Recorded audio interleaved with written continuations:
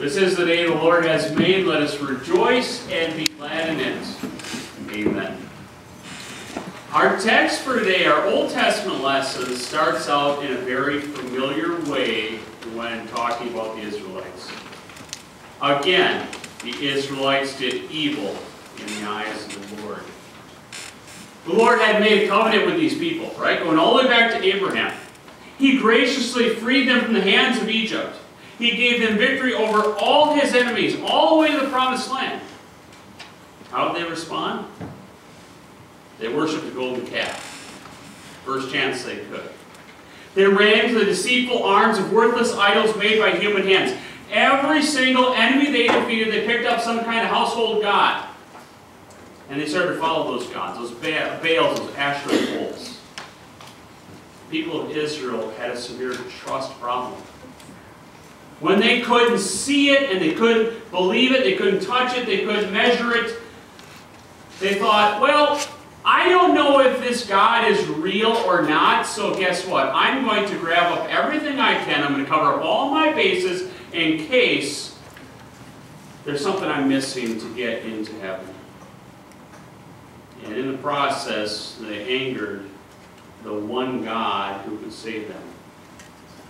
And the issue was they were in this terrible cycle. A cycle of sin that came back to bite them time and time again. The question I want to ask today is when will the cycle end?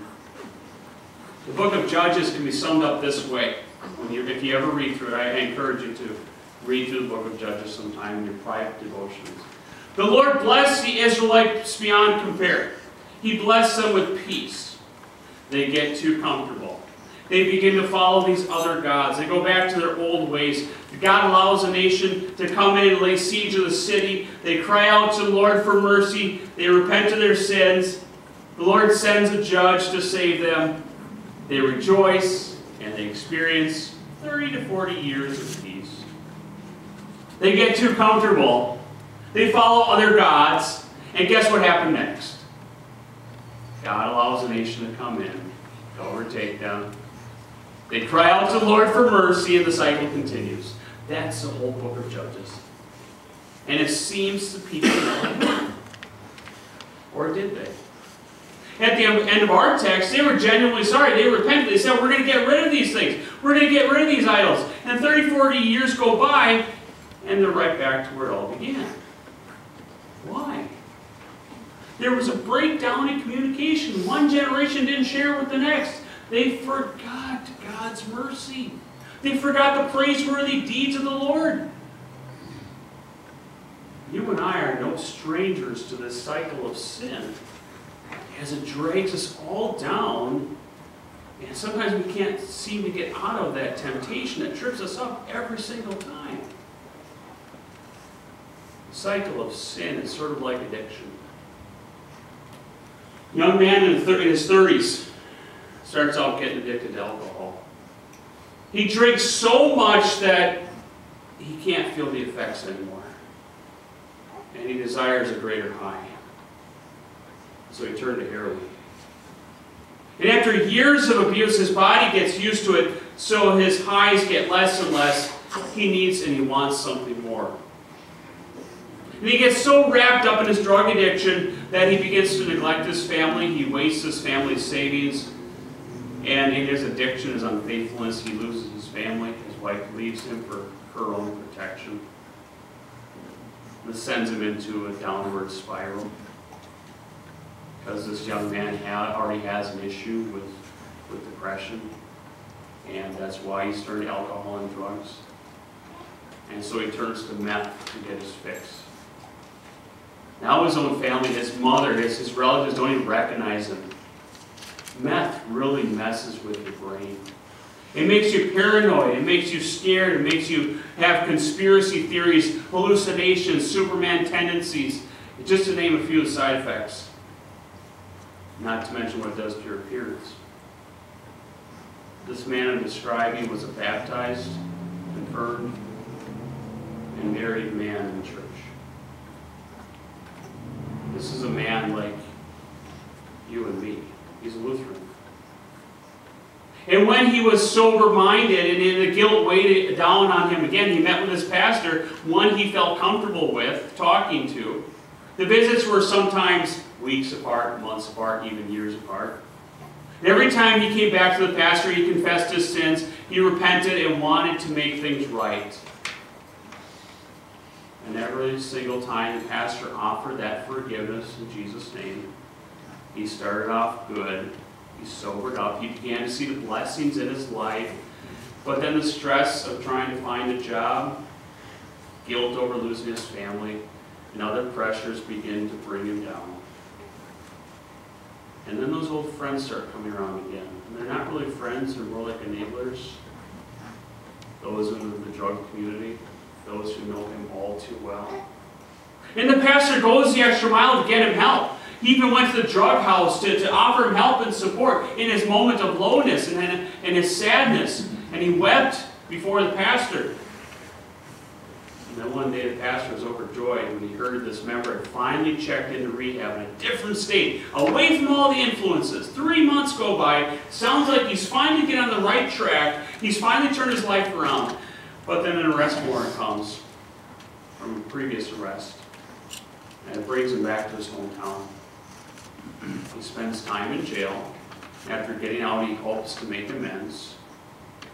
But then those friends start coming around again. Slips back into his old way of life. Back to jail he goes. The pastor feels deflated. He hoped that this treatment would finally be the thing that would get him through. This was the ticket. But then he finds out from other professionals in the field that deal with this sort of thing that it takes seven or eight years times, I should say times, of going to rehab to finally stick. And so the question I'm asking, and I'm sure you're asking in your mind, is when will the cycle end? Right?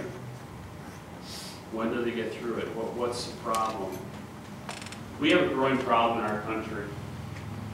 And it's, it's drugs, it's alcohol, it's addiction, Here's a quote from 40 years ago. Drug overdose is the leading cause of accidental death in the U.S. 52,404 lethal drug overdoses in 2015. Opioid addiction is driving this epidemic with 20,101 overdose deaths related to prescription pain relievers and 12,990 overdose deaths related to heroin in 2015. That was four years ago. I'd hate to look at the numbers now. Why do people go this way? Why do people get themselves into that cycle? Because people want to escape the realities of life. Maybe someone has psychological issues, intense stress, or simply depression. Some begin, begin, begin taking drugs for simpler things, for experimentation, or even recreation. Addiction to certain substances is just one example of the terrible cycle people find themselves in. What is the root problem? The root problem is that there is sin. And they can't deal with it. And so they try to cover it up. And that sin affects all of us. There are particular sins that you and I are prone to. It may not be alcohol, it may not be drugs, it may not be opioids, whatever you're driven to. You have a problem like I have a problem falling back into that sin again and again. When, when all the weaknesses, they tend to drag us down. You run to those sins when life gets difficult, relationships are strained, and the temptation is just too much to bear and you fall back into that pattern of sin. And once the dust settles, how do you feel? You're left with guilt, shame, and despair. Not unlike that young man that took his father's inheritance and ran. And in desperation, you cry out to the Lord for mercy. God the Father looks down to you, his beloved child. He has compassion, and he forgives you because of the sacrifice of his son. You're forgiven. Life gets better. Everything is sailing right along. But then the stresses begin to mount. The temptation to fall back into that certain sin becomes great again. Pride gets the better of you. You're thinking you're strong enough to handle this all on your own, and it starts all over again. When will the cycle end?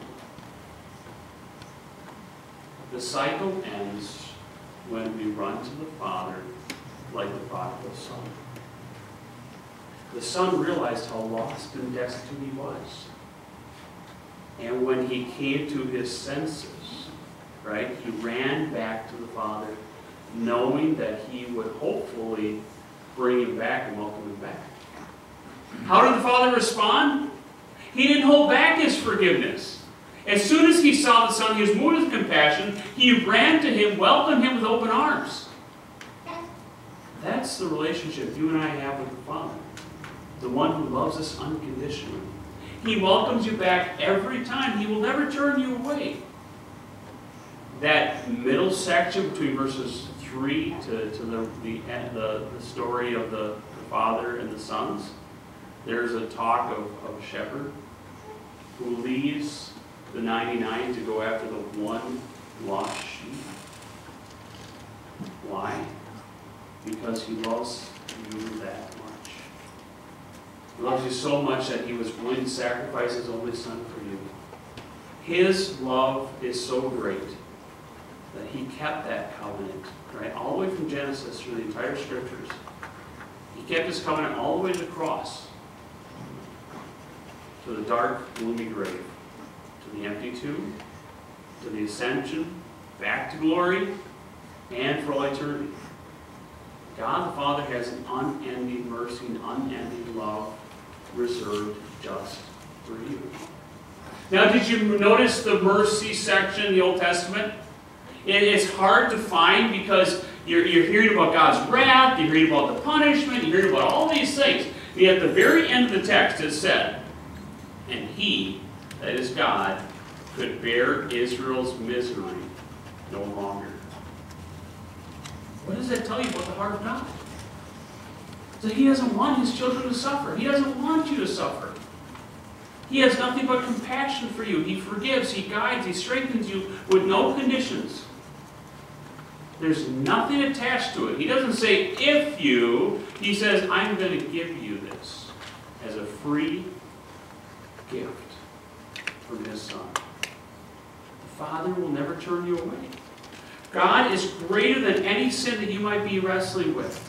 God the Father can help you overcome your temptations through faith in his Son, our Savior, Jesus Christ.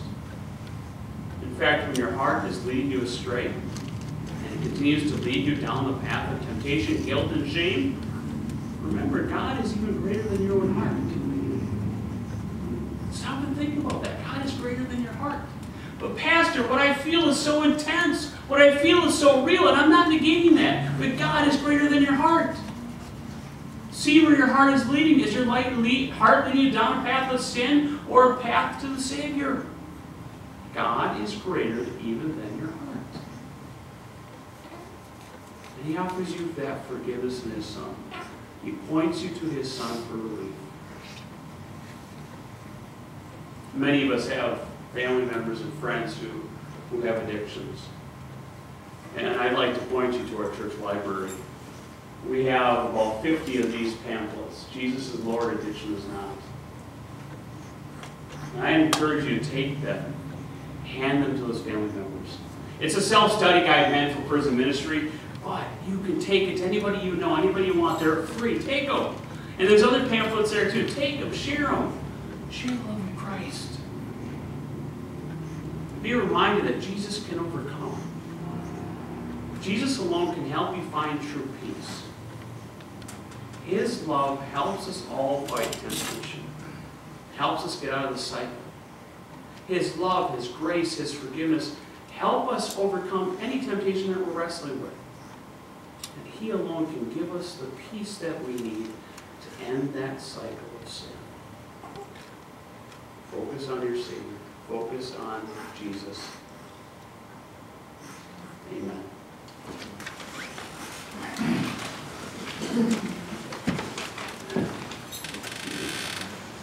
Please stand.